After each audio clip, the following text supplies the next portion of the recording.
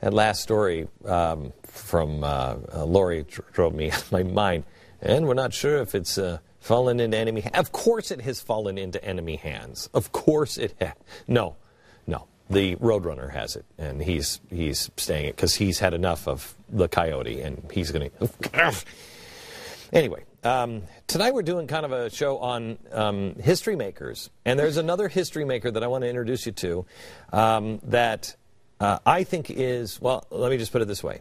I have never said I would campaign for anyone, um, but this man I would. I think he has been railroaded in his own state um, by the media um, and um, by uh, the senior senator of that state.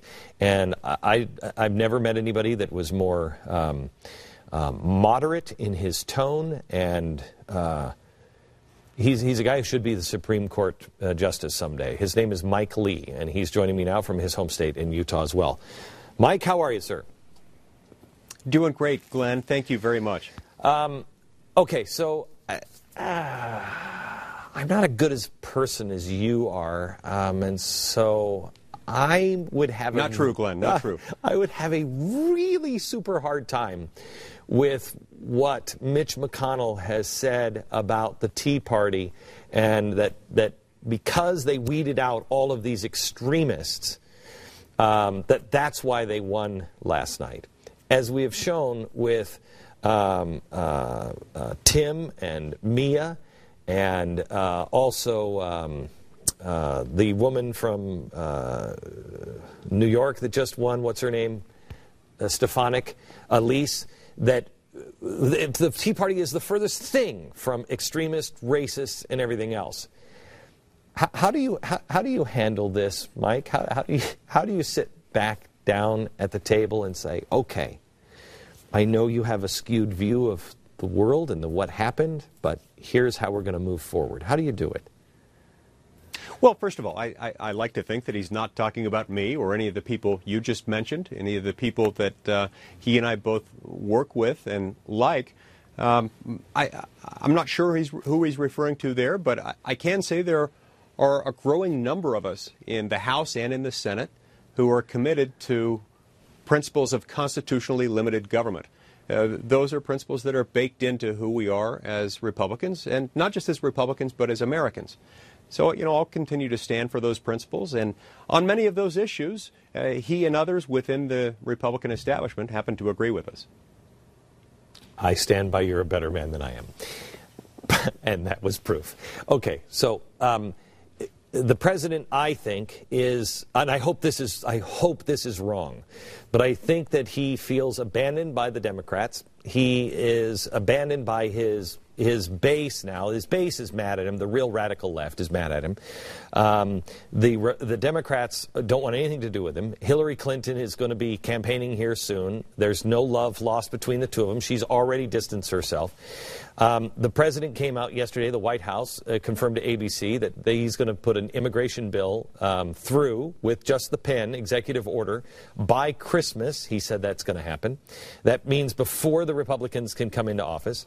I don't think the Republicans are prepared to deal with a true radical if he chooses to become one.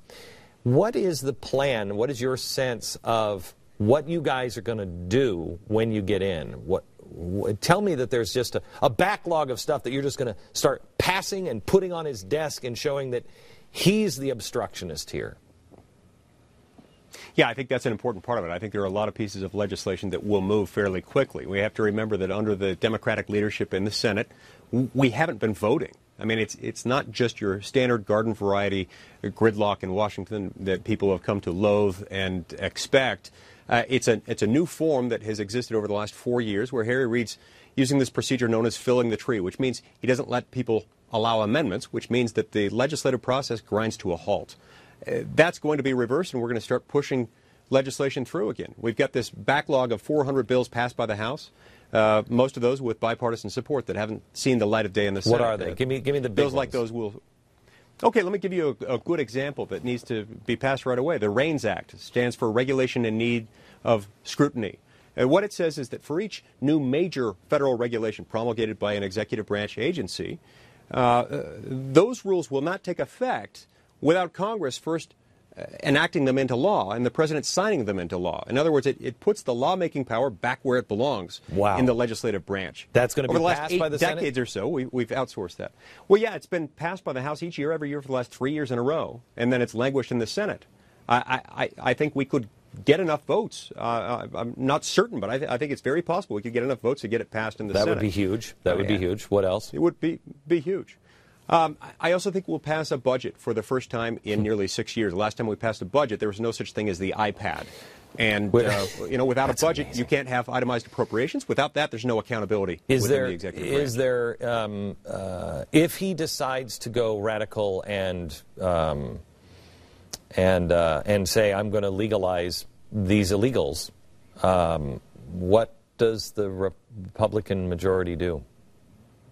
Okay, I think what we should do is turn to the guidance given to us in the Constitution itself and by James Madison in Federalist 58, which is if he overreaches, if he does something he's not supposed to do, uh, we withhold funds for implementing that thing which he proposes to do. So, if, for example, he wants to issue a bunch of green cards to people who, under our immigration code, are not eligible for those green cards, we could pass something saying none of the money we, we appropriate to you may be used for this purpose.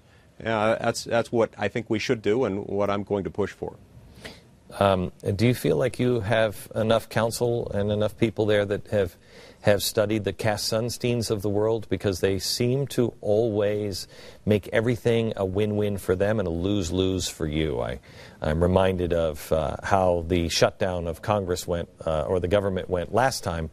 They seem to win every time. Win-win for them, lose-lose for you.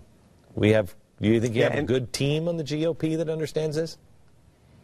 Look, I, I, think that team's getting better all the time. This is not easy, as you know, Glenn. Know. Um, uh, Rome wasn't built in a day, and, and, and I, I, can't, I can't tell you right now that I'm certain that we can win that battle, but we, we're sure going to try. And uh, if, if they run us over trying, that's one thing, but we do have to undertake that effort. This is the rule of law. This is something that ought to concern every American, Republican or Democrat, liberal or conservative. This is just an American issue, an issue that focuses on the rule of law. We've got to defend that. Mike, I, I, have to tell you, I am. Um, I, I, meant what I said at the beginning um, of the uh, interview, and I've said it to you in person and before.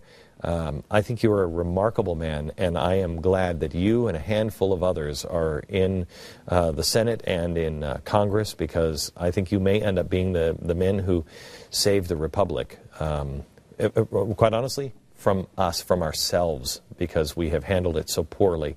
And uh, I appreciate your statesmanlike attitude here. Thank you so much. God bless. Thank you, Glenn. All right, back in just a minute.